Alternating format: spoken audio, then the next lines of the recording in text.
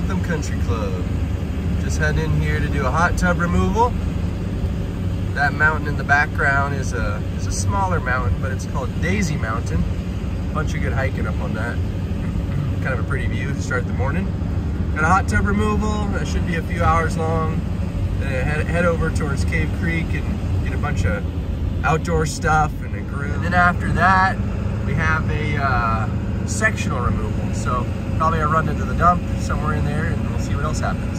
Should be a good day. Just getting all my tools set up. The first wheelbarrow load to take back.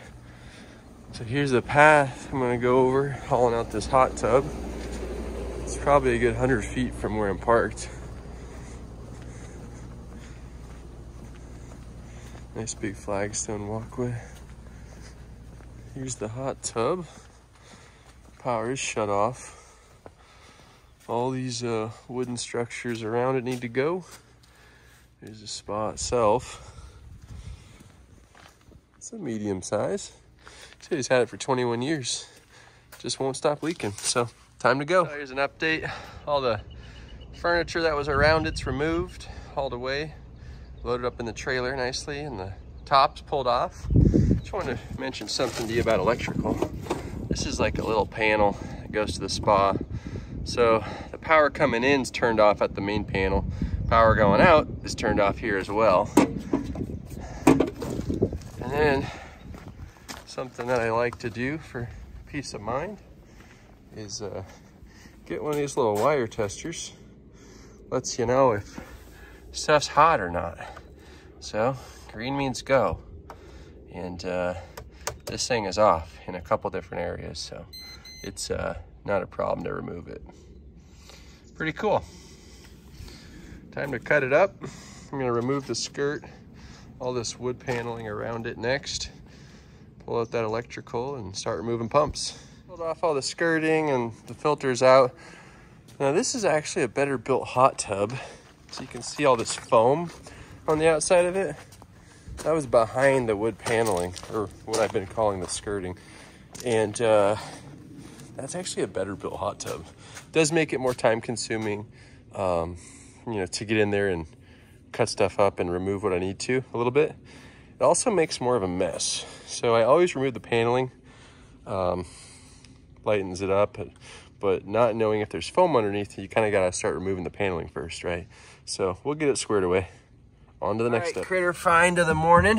One dead scorpion, two dead scorpion, three dead scorpion, four dead scorpion, maybe more. It's a good start for the day. So it's cut in half now. Got it separated from itself. Two separate pieces.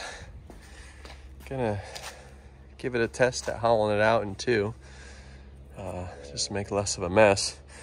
It is about 100 feet to the trailer over flagstone and there's a few corners and one one gate so see how it goes.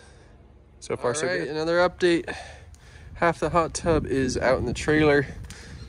And this half I cut up two separate pieces. It'll just allow me to maneuver it a lot better in the trailer and pack the trailer tighter so I don't have to go and load before my next pickup. So, so far so good. Get these two pieces hauled out of here and then start cleaning up all the little foam and small uh, shards of stuff that broke. Get this wheelbarrow of pumps and electrical hauled out. Another win. Removed. Swept it clean. He's actually gonna remove all this concrete, so he didn't want me to hose it off, but another happy hot tub removal customer served by Around Town Junk Removal. Hot tubs loaded, happy customer served. Time to head out to our uh, outdoor furniture and grill removal. On to the next job. My next job, got this umbrella base, some outdoor stuff, grill, little kiddie pool, umbrella. This pot's full of concrete. A few other items already hauled out. This metal thing, trailer's starting to fill up. Got that shelf sitting behind the trailer that needs to go. And a couple other things already tossed in, but gonna finish this load and head to the dump.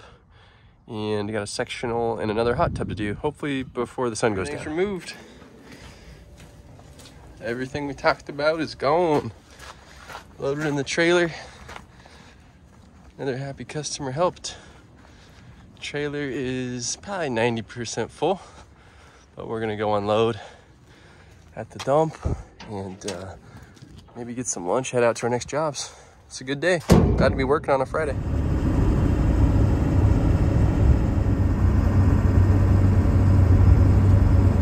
Well, I ended up being around 2,000 pounds, give or take.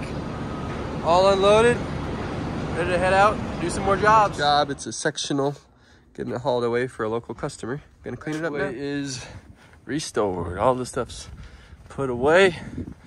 So able to help them out, remove some cardboard, put that up in the front.